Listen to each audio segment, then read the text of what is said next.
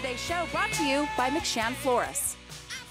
When it comes to creating holiday magic, McShan Florist in Dallas has the formula down to a T. Dawn Neufeld is there to give us the behind-the-scenes look at how he and his team can pull together some amazing creations together. Hi, you guys Dawn. Are probably having fun back there at the studio, but I am here at McShan's Florist with none other than Bruce McShan himself. How are you this morning? Doing fine, Dawn. How are you? I'm great. You know, we're so used to seeing the amazing things you guys bring into the studio.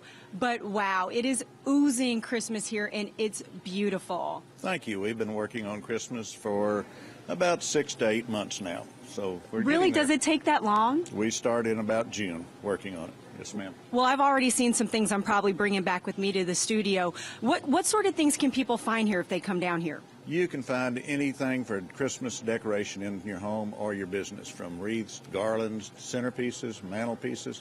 We make all custom work, and we don't buy anything pre-made. It's all each one is individually made.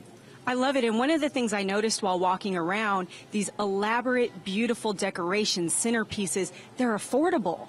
Well, we try to make it affordable to everyone. Yes, ma'am. And it really is beautiful. So you said you have to to get start getting ready six to eight months before. What sort of things go into the preparation? We start, uh, well, we'll start in January buying for Christmas next year, and then we will work on making these arrangements up in June, and we start storing them. And we have ideas that we're working on now for next year, but you have to plan that far out just to get for the volume you have.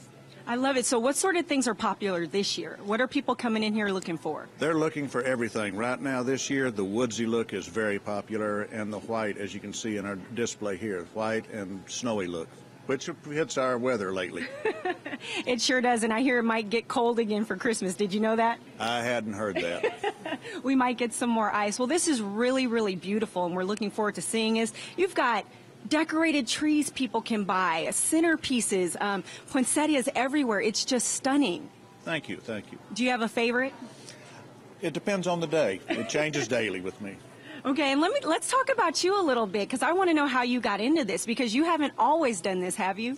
Well, yes, I have Okay. actually. Well, my parents bought this business in uh, December of 1948, so we started our 65th year this Wow. first this month, and I was born 21 days later.